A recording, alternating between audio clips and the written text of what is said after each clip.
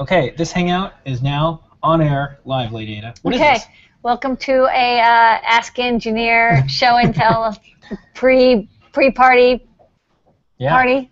Uh, we're going to be uh, sing by Molly, and uh, we're going to be uh, we're going to be showing and telling for uh, I don't know for Ask Engineers. Just so far, it's just Noah and Pedro and uh, Phil Beast. It's all Team Adafruit, which is cool because you guys don't usually get as much time to show off your stuff. So we'll uh, we'll show off your stuff, and then uh, maybe if other people come in, we'll uh, have them show their stuff. Yeah. Also, we can do an Adafruit staff meeting, Yeah. um, which we might do. Okay, so everybody, like, I want you to, um, you have to register your dragons. I know we sent you all dragons last week, but we used Did you- serial numbers. Did you get the TPS report to Yeah. fill out? Um, so let's uh, let's start with Noah and Pedro. Noah and Pedro, Hey guys. what you Hey, got guys. cooking this week? Alright, so it seems like the going trend in 3D printing is all companies printing their little mascots and little, you know, bringing them all to life. So we said, oh, okay, let's bring Adabot to life. So this week, we got a cute little Adabot. Yay, Adabot. So Yeah. he prints with uh, the legs attached. Oh yeah, you got a little copy there. Yeah. Yeah, so the bottom portion uh, prints with supports. The the um, the legs are uh, already attached on there. The arms snap on, and there are two lids for the body, so you can fill it with all sorts of electronic goodies. Yeah. The um, eyes, mouthpieces, and little articulating ears here. And one of the cool little things about the mouthpiece is trying to stay true to the puppet version. When you put some LEDs in it, the thickness is a little bit different, so the mouth glows while the eyes do not. Okay, Oh, that's cool. fancy. Yeah, so it's uh, really cool for doing little poses. You can do uh, put a little piece of uh, tack on there. You can do cool little, you know, cool stop uh, animation, uh, stop motion animation with them. So not, not a little fun you can have with little Adabot. I like how the ears rotate too, which I thought was a cute Yeah. little addition. Yeah. So Beep, beep, I have some beep, questions for you for the folks out there who love to do 3D printing, or like most people, they're probably like, one day I'm going to get into 3D printing. So, if, how long did this take you to to do in um, uh, and what tool did you use? Right, so for this one, we're using Maya simply because uh, just the way that the arms are constructed, and um, there's a. I'll have a, b- a better explanation uh, tomorrow for some of the things that we're working on. You'll, you'll see Okay. exactly how everything was built with a couple of boxes and some uh, deformers inside of Maya. So this took about a little bit of, over a week, simply because like just printing everything from scratch takes about eight hours Yeah. there's that aspect, just you know the amount of time that it takes, and then um, getting all the tolerances right for snack fitting all the pieces that go together, and um, we always support removal, you know the, the post process after printing. So that's uh, that's what takes a large chunk of time. If you notice, uh, I think this week we turned it in, you know, a couple days later than we usually do, simply because you know how long it took to just print and put it all together. Yeah. Yeah. And because we got a couple more people, I'm gonna uh, move on. I I just want to know about like your thought process with this. Do you guys draw? Do you sketch it out, or do you just kind of live play No. with pixels? Yeah, so usually we do sketch it out, but for this one, um, big shout outs to our uh, uh, Bruce creative, Yan, yeah, yeah. our creative director here, Bruce Yan. Um, we had uh, the reference drawings were provided, so I was able to do all the extrudes and revolves for all the shapes. Oh, so you used the Illustrator files and did extrudes from those. Yes, yeah, yeah, yeah. Oh, So okay. there's uh, j- just a couple of, um, and you'll see tomorrow. Just um, there, there's some some post uh, setting up that you have to do to make sure the paths are um, just the way they're compounded is uh, you know just checked. Okay. This Yeah, is so- fantastic. I like that we're getting into action figures now, Adafruit. I know. And then the last well, thing. that Kid Robot store closed, but like New York, it- Kid- just before we had something that they yeah, could sell. in New York, the Kid Robot store closed, so we have to now show the world how to make their own Kid Robots. Um, and and what's the the project you're starting to work on there with a quadcopter? So for next week, we got some LEDs on the iris here. Yay, LED drone lighting system. Yeah. Okay.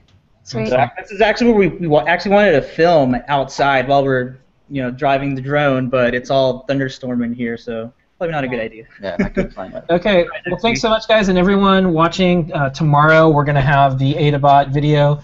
Um, Lady Ada and I saw it this morning. It was magical and fantastic. It was so cute you wanted to throw up rainbows. Yes. All right. So. Throw up the rainbow. Okay, next up we're gonna go to Phil B, and then Tony, and then Noah. Phil, what you got? Hey there. I, I like how uh, Pedro and Noah, even their lighting is magnificent. Yeah.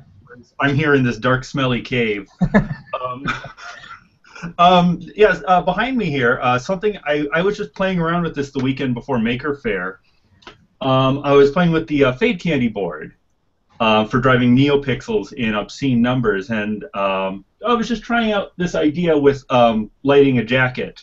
Um, so there's there's Tron light cycles uh, currently showing on the jacket. 480 NeoPixels, one Fade Candy board, and just a big ass lipo uh, battery. Um, I ended up not finishing it, not because it doesn't work or anything, but um, there was kind of no challenge in it. Um, you know, the Fade Candy and the NeoPixels just made it so um, so simple. It's like I like that. You video, hated it. I like that video jackets, jackets are now too simple. That's so cool. Oh Yeah, yeah. that was, yeah, did you use like a laptop or what was running the Fade Candies Raspberry? uh, at the moment it's hooked into my iMac, but my plan was to use the uh, Raspberry Pi because they do have the um, the Fade Candy driver. They have a Pi version of it. Okay. Um, so my plan was just to read uh, a little um, MPEG file or something. Should have no problem. Okay. Uh, but it, it would all fit in the pockets of the jacket very easily. Okay. Um, Well, so maybe we'll revisit this. I don't know. You want me to make it harder? okay, what do you have in mind? No, I'll think of something. I'll just make it really. I'll just make it really hard. Then you'll hate it.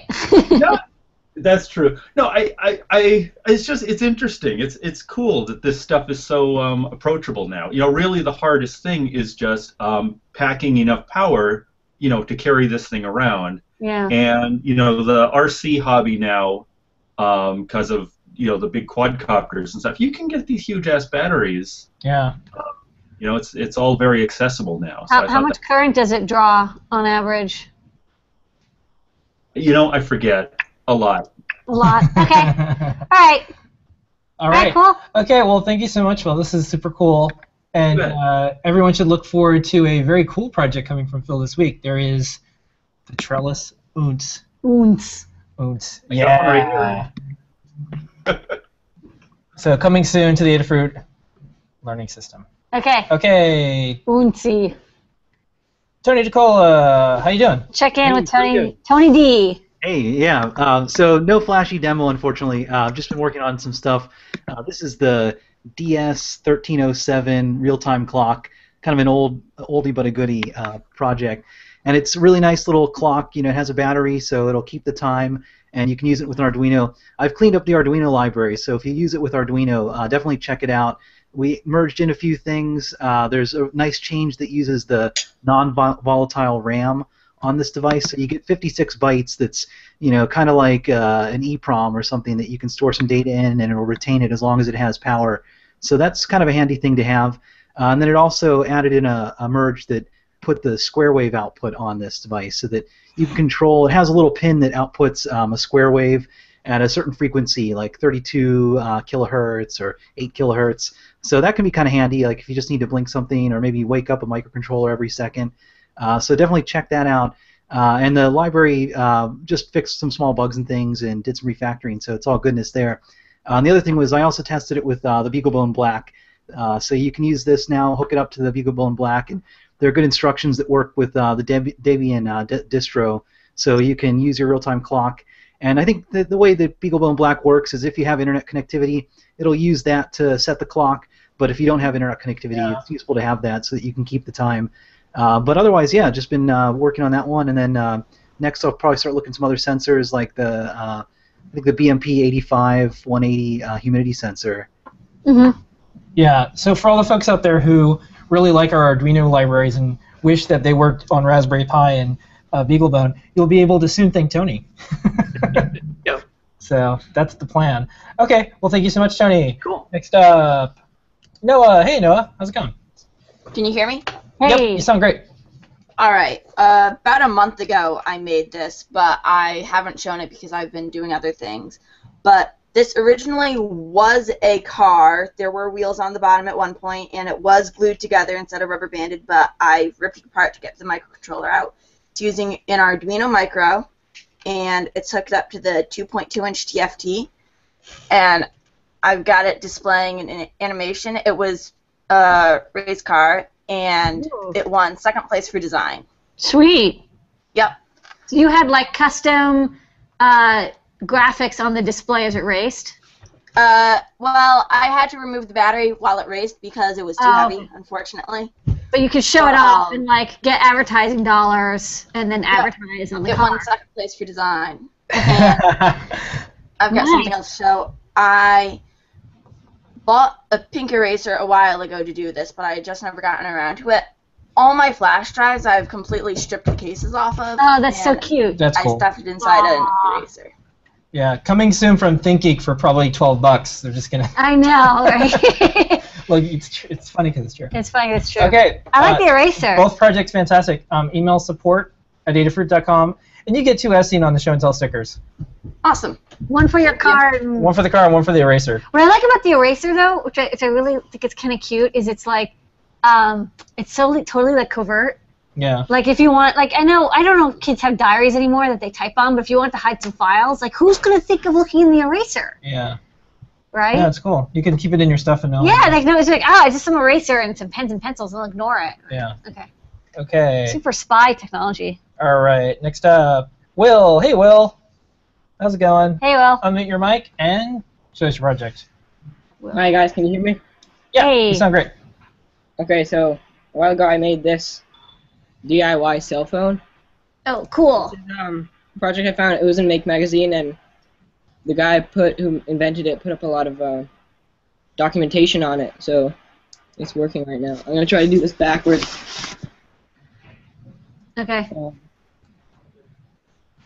So it's got just a regular number pad and arrow keys basically. So I have like my contacts in here. Um, oops. And then I've been fiddling with the code a lot because it's all open source. And I added this piano mode in. So now these are all keys. So it, um, it has this buzzer that it uses for doing um, the ringing. So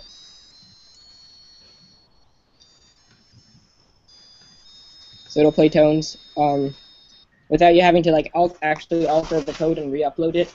Now I can do it on the fly to try to like compose my new ringtones. Okay. Yeah. This is cool. This is like um like 80s style. I like the red um LED display. Where'd you get that display from? Um, I think we just ordered out most of the parts off like DigiKey or SparkFun or something like that. Um, Very cool. all off those big, the big websites. I don't know. It's just some like dot matrix display.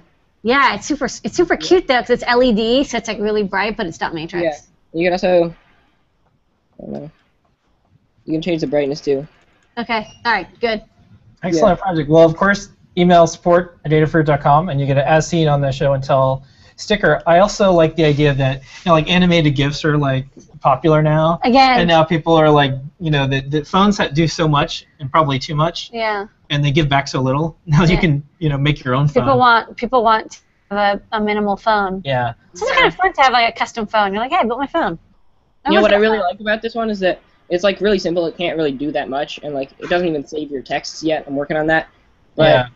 you can like I've like I can just mod it whenever I want. Yeah. really If it doesn't save your text, you can call it like Snapchat text and sell it for four billion dollars. Six seconds or. All right. So next up, I hope I pronounced the size. Dries, Dres, Dries. Which- Hello. Hi. Um, I made a, an EMF detector. I don't know if you can see it. okay. Oh, neat. You need a um, DIY phone to test it with. Um, I've taken some pictures, but where um, I can't find the the oh yeah screen share. yeah, they hi- it's the green one, the second one down. And then you have to choose the window. Always a little tricky with Google Plus. Um, so um, I, I was looking for a way to visualize electric signals, and um, So your screen share isn't um, sharing yet. I don't know. yeah, and I'm, trying to fix. Uh, yeah. Um, so I was looking for a way to visualize oh, here you go. electric signals, um, and I um, oh, I started taking pictures with a really long shutter delay. Mm-hmm. so that you can have small snaps of um, electric fields, and um, eventually you combine the pictures, and then you have something like this, or like this. This is with a, a multicolor LED. And these are solar panels. Uh, this is another solar setup.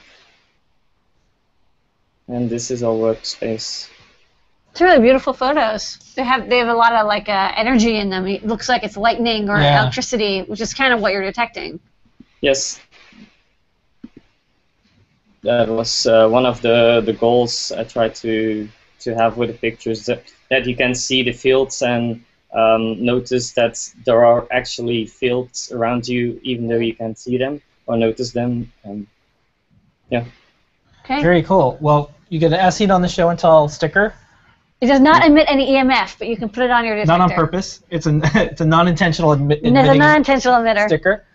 And uh, fantastic show and tell. Yeah, Everybody showed up. fun projects. Yeah. Like a nice a nice mix. Yeah. So uh, Ask an Engineer comes up next. We The do five, the show and tell Yep. every single week. If you're watching this right now and it's recorded, um, 7:30 p.m. Eastern time every right. Wednesday. and every Wednesday on our Google Plus page, plus.google.com forward slash plus. If you look for the link and comment on the page in the post, and we add you to the show and tell sticker, and then you get a notification and a bunch of things happen in your Google Plus thing, and uh, you can join the show and tell.